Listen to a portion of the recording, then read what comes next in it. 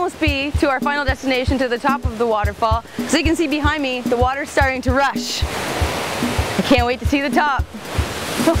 We're here. The waterfall is about 50 feet of drop.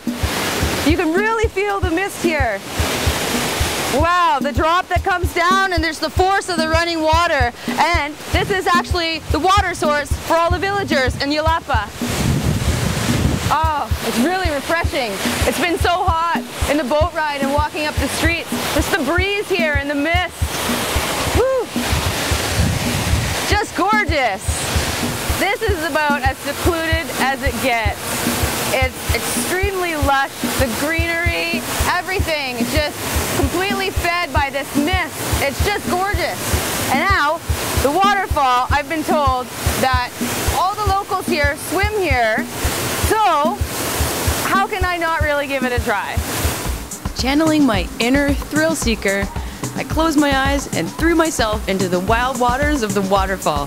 It was like a scene out of Romancing the Stone. The water was going so fast that you had to tread water and fight against the current just to stay in one spot. Make sure you keep your head above water and your feet out in front of you, just in case you get a little bit too close to the rocks.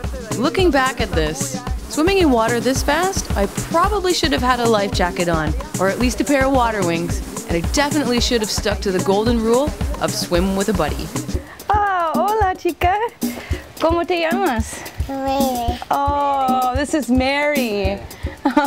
it must be so beautiful to live here. Everyone is so friendly and salt of the earth. You're sweet. ¿Cuántos años tienes? Dile cuántos años Aw. Dile, la mano de la boca y di. mira. How old? mano de la boca. She's two years old, Mary, two years old, living here in the beautiful village of Yelapa. Que tienes dos. Oh, look at her little nail, your nail polish, eh? Saluda con la mano, Mere. Sí. Así. Mary, hola. Aw. Hasta luego, Mary. Adiós, dile adiós. Dile adiós con la mano, Mere. Oh, hey. Adorable. Adiós. Uh, bye, Mary. I can't say enough about Yelapa, but most especially the people of Yelapa. When the only way that you can get to a place like this is by boat, it does something to the people living there. It binds them together and keeps life simple. And be careful if you're not the hugging type, since it's not uncommon for complete strangers to come up and welcome you with open arms.